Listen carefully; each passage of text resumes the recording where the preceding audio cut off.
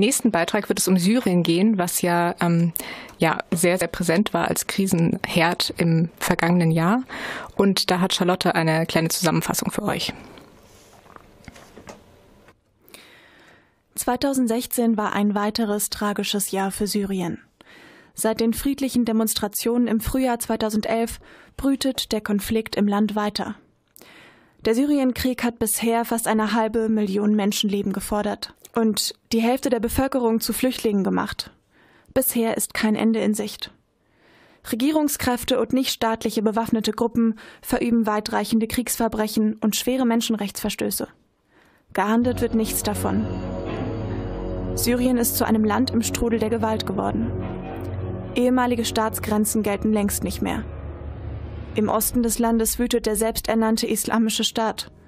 Und im Westen terrorisiert das Regime sein Volk mit Folter und Fassbomben.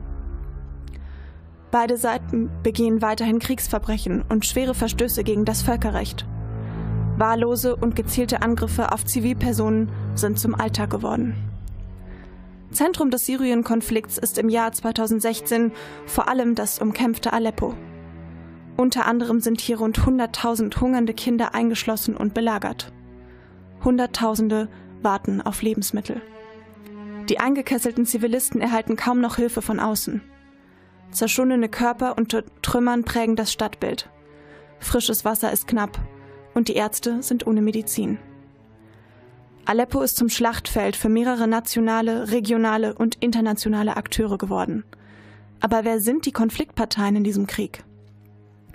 Da wäre zum einen das Assad-Regime.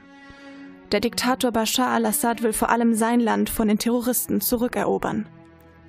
Assad galt als Hoffnungsträger der Nation, ist inzwischen aber zu einem ihrer Totengräber geworden.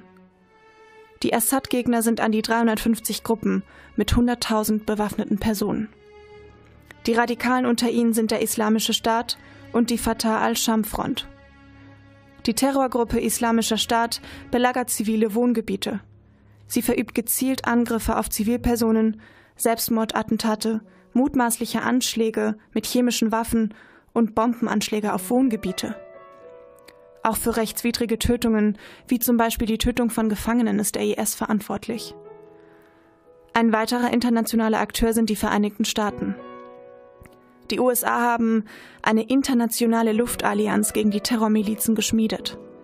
Am Boden unterstützen sie kurdische JPG-Brigaden. Die Volksverteidigungseinheit soll als einzige den Dschihadisten gewachsen sein. Streitkräfte der USA flogen Luftangriffe auf IS-Stellungen und auch andere Ziele. Dabei gab es auch unter der Zivilbevölkerung zahlreiche Todesopfer. Seit September 2015 greift auch Russland in den Bürgerkrieg ein. Mit Kampfflugzeugen und Elitetruppen will es das schwankende Assad-Regime am Leben erhalten. Vom Kaspischen Meer aus hat Russland Marschflugkörper auf Stellungen des IS geschossen, aber auch auf oppositionelle Gebiete. Der Einmarsch türkischer Truppen in Syrien richtet sich primär gegen die syrischen Kurden, aber auch gegen den IS. Ankara will das Assad-Regime stürzen und unterstützt deshalb Rebellengruppen. Auch Saudi-Arabien finanziert moderate und radikale Rebellen. Der Iran wiederum schickt schiitische Milizen zur Unterstützung Assads in den Krieg. Gegen Ende diesen Jahres haben Assads Regierungstruppen wichtige Bezirke von Aleppo eingenommen.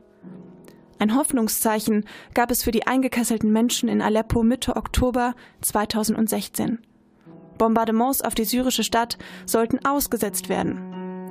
Dafür sollte es Fluchtkorridore aus der Stadt geben. Aber auch diese Feuerpause währte nicht lange. Die humanitäre Lage wird immer unübersichtlicher. Auch der Anfang diesen Monats hat gezeigt, dass es keine Einigung im UN-Sicherheitsrat auf eine Feuerpause in Aleppo gibt. Russland stellt sich quer, weil es zu hastige Resolutionen nicht als Lösung sieht. Das Leid der Menschen geht damit weiter. UN-Nothilfekoordinator O'Brien sagte, Im Namen der Menschlichkeit, wir bitten, wir flehen, tut alles, um humanitären Helfern Zugang zu gewähren, bevor aus Aleppo ein einziger großer Friedhof wird.